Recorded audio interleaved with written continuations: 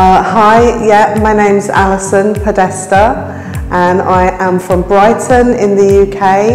Uh, I uh, came to Antalya to have some new teeth. I had, uh, I've had top and bottom full sets of uh, veneers and they've looked after me really well in Magic Smile. The staff are professional and very kind and friendly. I'm very happy with the result.